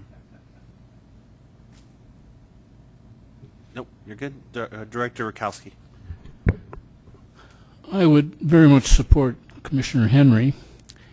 And as a practical matter, having had the Praetorian Guard of DRCOG at all of the Arapahoe County sub-meetings, of which there have been many, they have been very active participants in the discussion. In fact, one almost had to restrain them at times. so these things aren't going to get out of control. DRCOG is there. Uh, I had we had what four or five DRCOG members at our last meeting. Uh, so I'm convinced that they're going to take care of themselves and they're not going to get overwhelmed. But I don't see a point in a limit. Let's be creative. Uh, Director uh, Fanganello. I just can't miss out on a moment for kumbaya. Like this is awesome. So I'm just going to chime in on where we are. I think it's it's a good place to be. Any other questions or comments? Any online? All right, next. Thank you. Last one, and this is, this is, uh, we'll admit, a little tricky. So this deals with project delay and consequences for project delay. So if you were, if you, you may recall that in the current TIP policy, uh, this is a policy that was um, set back in 2015. Um, the purpose of this is to encourage project sponsors that are awarded TIP funds to move their projects ahead on the schedule that they've agreed to. Um, delayed projects can tie up these limited amount, these scarce sources of funds um, from projects that could have otherwise used them. And, and we do get negative feedback from our federal partners uh, and our state partners if these federal funds aren't obligated and sit out there unobligated and, and unused. So there, so this is an incentive to our project, project sponsor partners to, to keep their projects on schedule as much as possible. So the current policy uh, reduces by 20% the maximum number of applications a sponsor can submit in the next tip call for projects. Now, as we just discussed, if there are no limits on the number of projects that a jurisdiction can submit, then this consequence has no meaning. And so we've talked about some, uh, an alternative consequence um, that would be to, you know, instead of keeping that policy or some form of that policy in place, to require an increase in the local match requirement for that project sponsor's projects, all of their projects that they submit in that call for projects, from the minimum 20% to some increased amount to be determined. And uh, we've kicked around, that could be 25%, it could be 30%, but something that is going to be meaningful and have, and be some meaningful consequence for those project sponsors that have a project that gets into a second year delay situation. So um, I don't know that I need to say a lot more about that unless you have specific questions about sort of the current policy and, and kind of why we have the, the consequence built into the TIP policy. Director Henry. I have a real quick and hopefully easy question. What if the delay is due to RTD or CDOT? Because that has happened. It is. I, I, will- I will simply say this, that under the existing policy, it doesn't matter. It- If it's delayed, it's delayed. Um, So even now- though it's out of the jurisdictions, then they're the ones that actually have to get penalized, not CDOT or RTD. Under the current policy, that's correct. I really don't think that's fair. No. Let me ask the question, did they come back to us when they do delay? Don't they come to the board, or is that Who- the other who does? process? Well, if there's a delay, don't we have to ask for an extension? Yes. Sure, Shouldn't- so- Shouldn't the board have the ability to say the penalty should or should not apply? We should say there's a standard, but shouldn't the board make the final decision if a penalty should be applied? Yeah. Sure, and again, it has in the past. You know, for first-year delays, we bring a report to you all, basically explaining, you know, what the process would be to get that project back on track. And, um, you know, typically, you know, our staff recommendation is to let it proceed, and, and you guys haven't had an issue with that. The second-year delay is a little more complicated in that um, if, if the year, project is second-year delayed, you, th- they come in and appeal to the board, and you can offer up to 120 days extension of that project. We did, you know, back when we discussed this delay policy three years or so ago, um, we did talk about the actual CDOT RTD component of this, and we never reached any resolution. But that is something we can definitely have a conversation about again. Director Chrisman. Um, I'm assuming that the increase in the match is to submissions in the next tip. Well, that could be fairly draconian. So let's say Aurora was putting in a trail, and it's a $4 million trail, and it gets delayed. Well, next tip thing, they're trying to do a, you know, $50 million project. And that's a, I mean, that's a, a really an unfair um, penalty for a small project. That's, that's all I would have to say.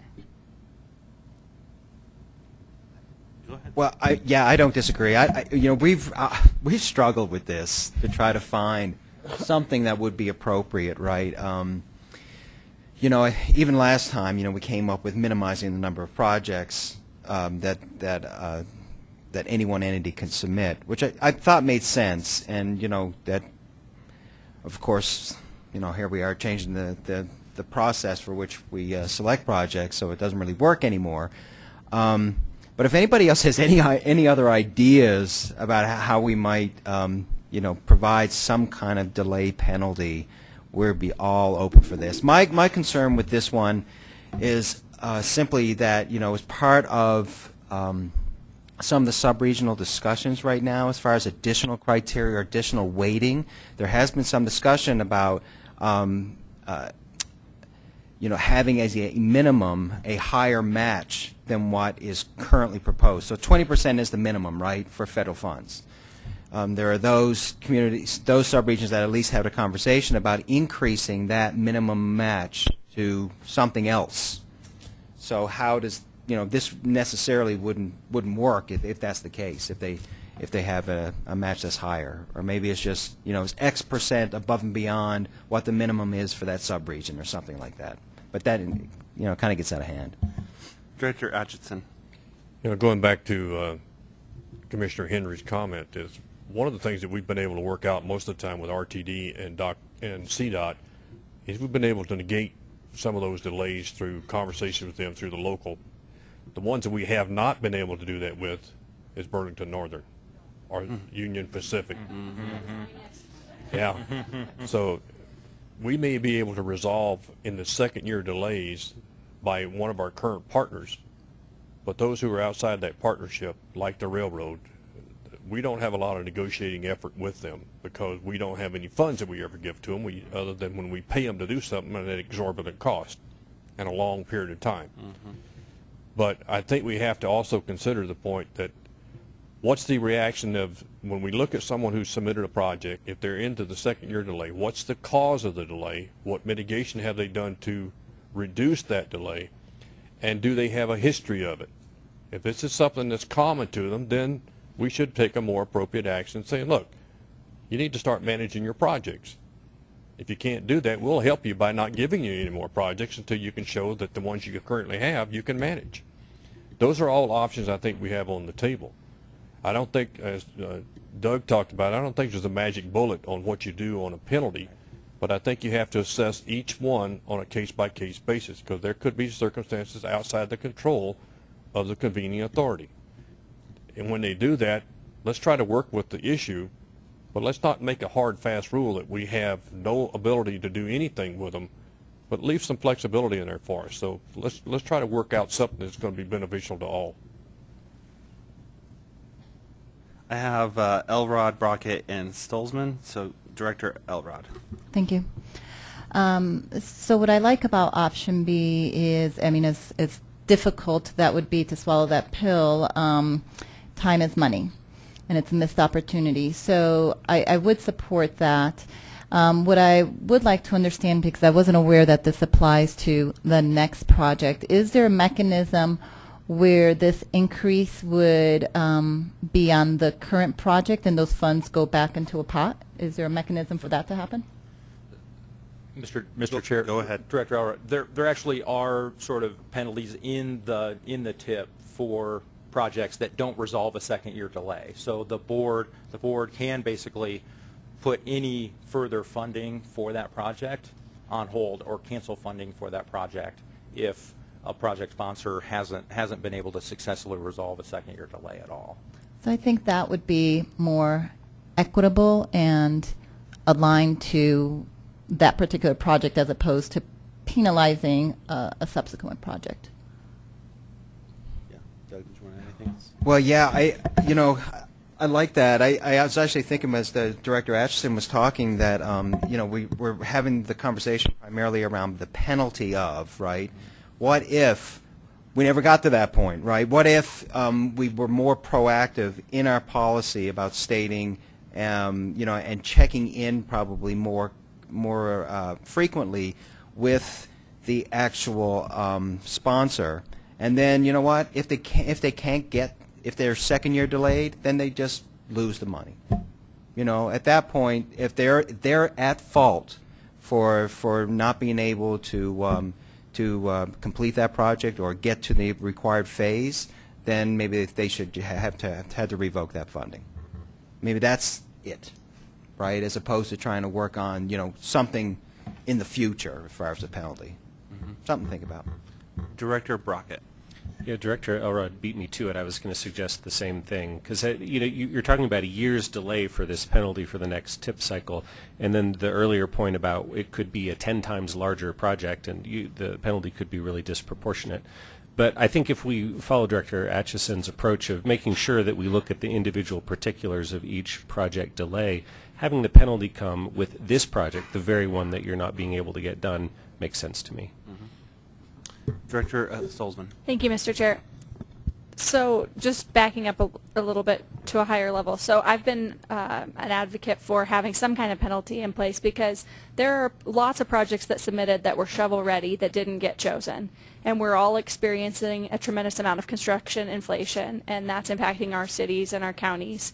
So there is an equity issue for communities who have these second year delays where, you know, you're taking multiple years on potentially hundreds of thousands of dollars that the rest of us could have happily been spending and, and avoiding additional increased costs by having to delay our projects. So I do favor having some kind of consequence if there are long delays on projects because other, other communities could have used those funds. So I do take it very seriously.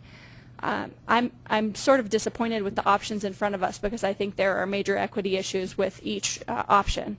And um, it's, it's disappointing. Um, I even, you know, you sort of call out Denver and Broomfield in that option A issue. Even in other communities there are issues because if you had, let's say you had five communities in one subregion that had delays, you do still have a disproportionate benefit that you shouldn't be having.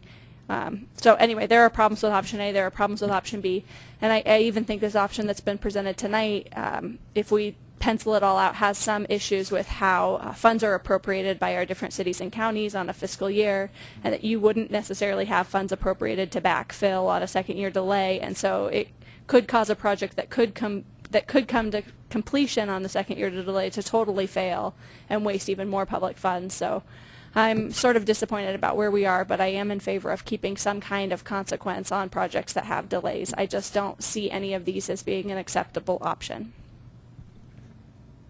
Yes, Director Fanganello.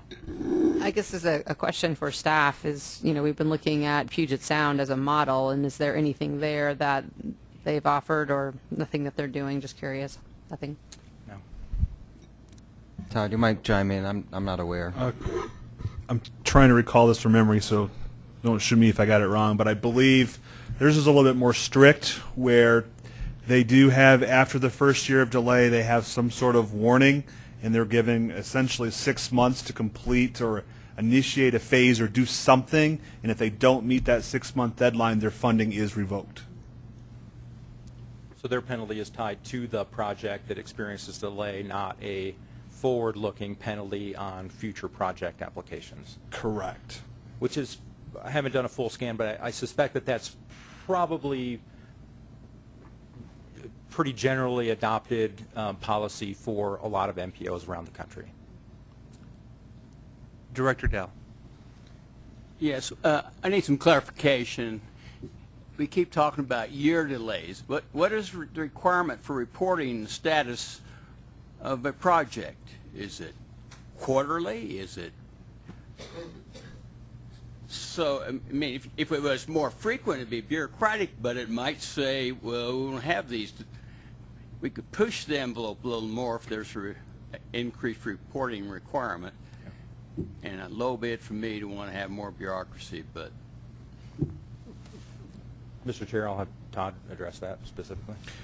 So DRCOG uh, staff checks in with both CDOT and RTD twice a year, um, usually on right around April 1st. Um, this is more of an informal that doesn't necessarily go out um, to our committees and board. It just kind of gives DRCOG staff information where we can check in with sponsors to make sure things are, are going smoothly, or if they're not, um, perhaps give them a little bit more push or assistance. Um, our official check-in is October 1st of every year, and the information that we collect at that time um, will go into our report that you will see usually approximately three to four months later. Director Jones.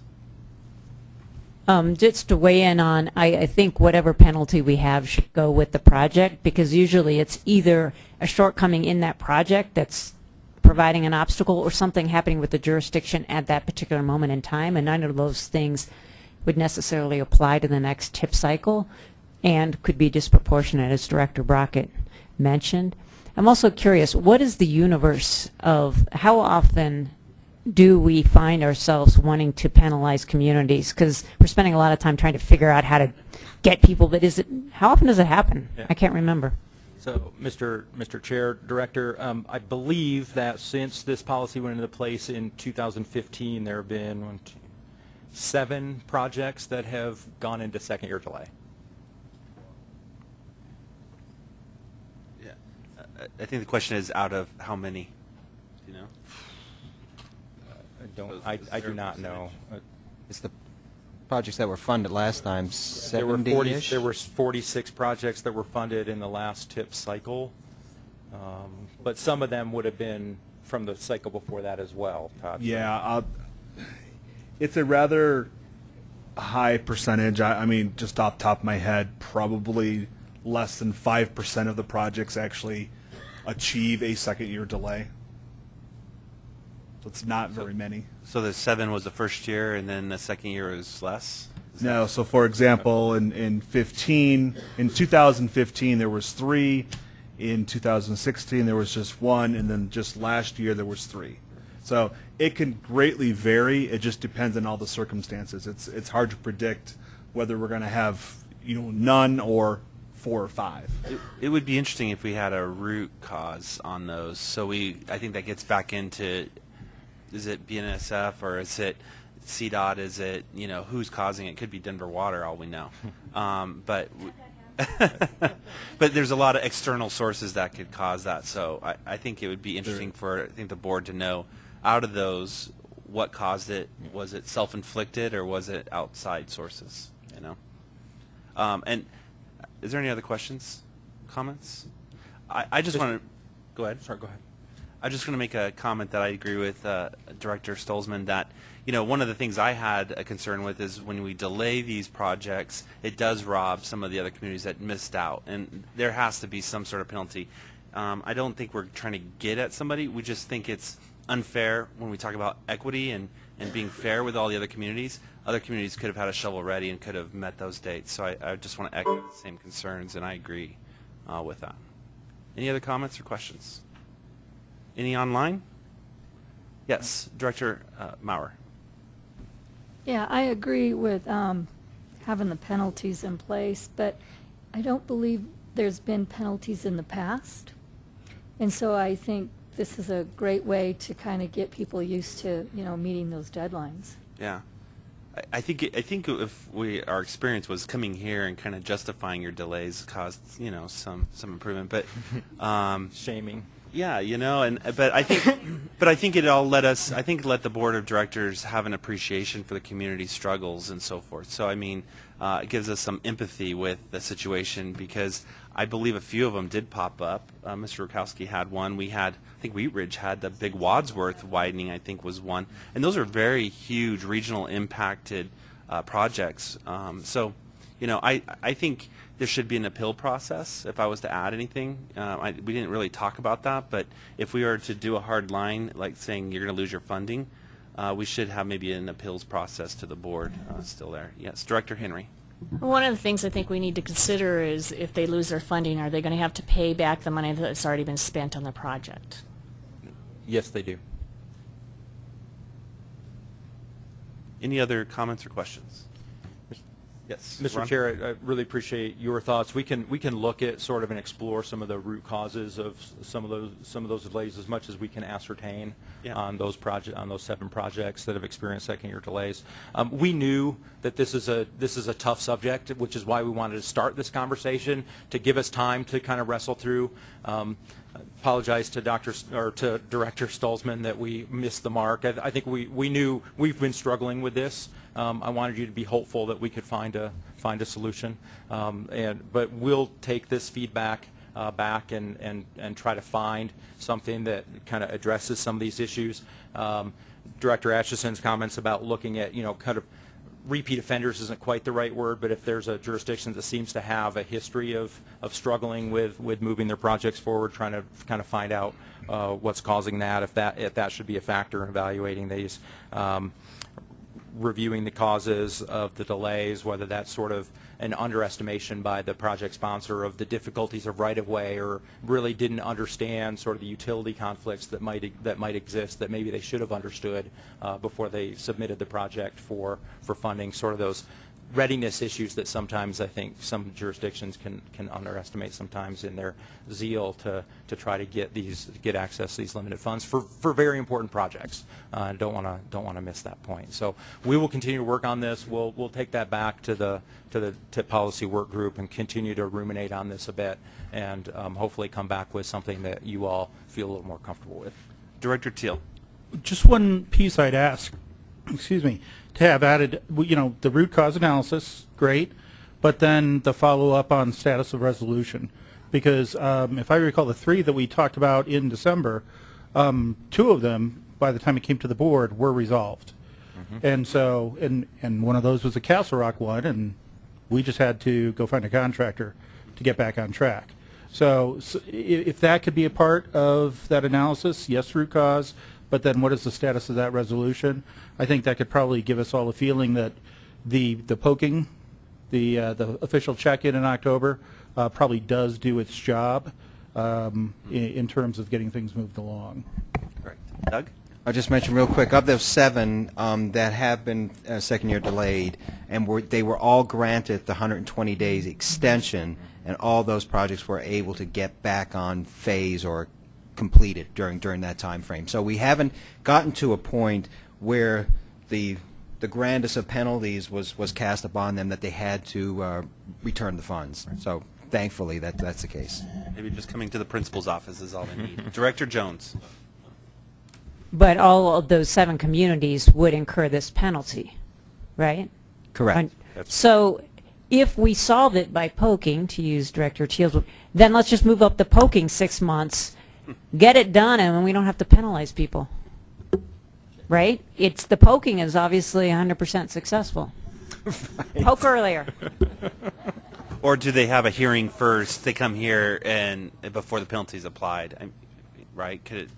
I mean, it, it shouldn't say penalty then appeal. Maybe it should be come and talk to us first, uh, and then then make the decision. I don't know. But we are focused more on the penalty as opposed to moving the money quickly, which is really the end goal. So we might solve this problem by changing our emphasis. Sounds good. Any other questions or comments? Do you have more? Mis- Mr. Chair, just, just to delve into that a little bit, Director, um, are you meaning maybe at, if, if a project gets to one-year delay, then maybe we treat that more like we currently treat the second-year delay projects? Bring them in front of the board, explain why, have a, have a plan for addressing and getting out of the one-year delay? Is that, am I interpreting your comment correctly?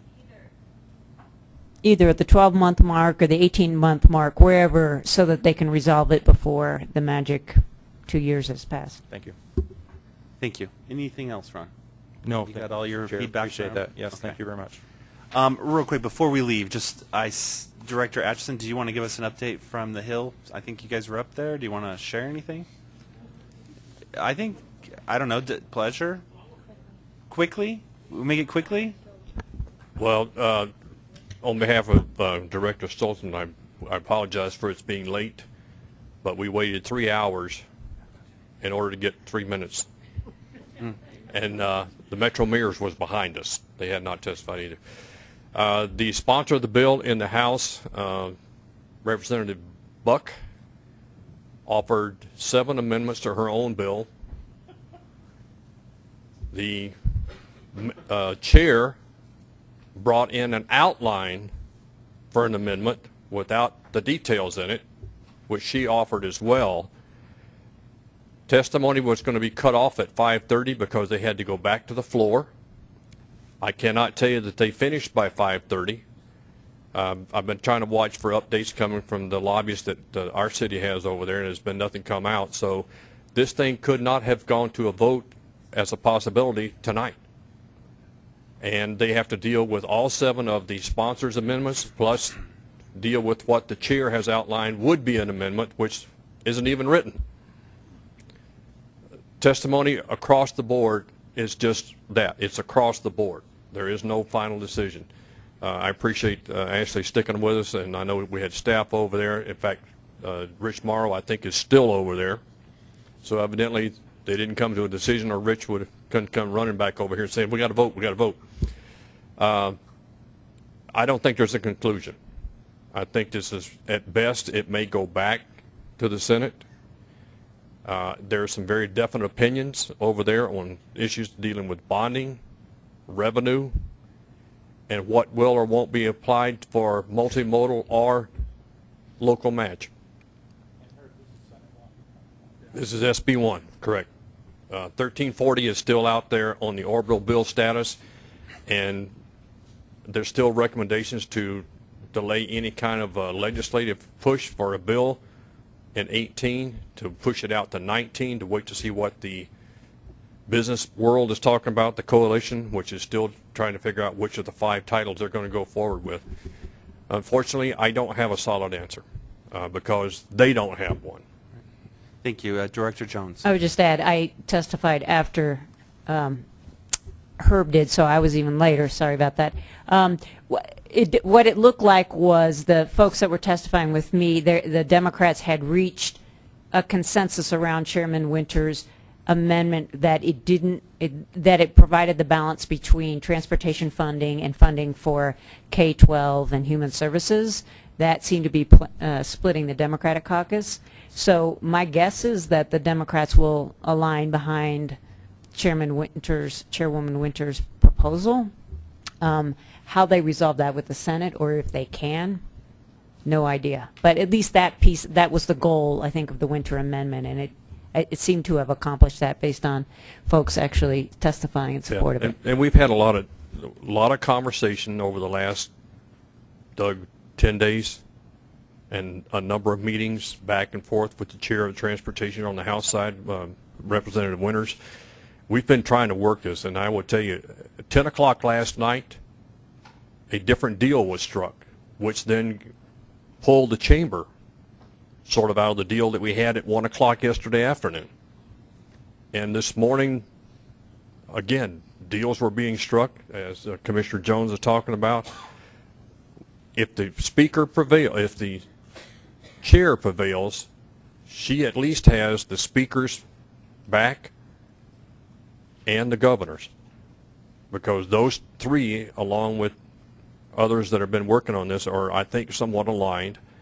Unfortunately, I'm not sure the Senate is. And that's where the big thing, we- we could end up just like we were last year, short a vote. But uh, this is something that will continue to be watched. Doug and the staff are prepared to send out something to the entire board based upon the direction that the board gave the officers. And as soon as we know a resolution of some kind that we think is viable, we'll get that out to you. Thank you. And thank you for uh, going to the uh, Capitol and advocating for us. One last thing before we adjourn.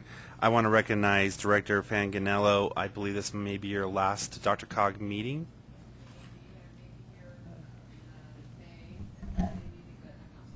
But for now, I'd like to recognize you for your thoughtful leadership in the region as well for the city and county of Denver. And we've always appreciated your presence here at the meetings. So thank you very much.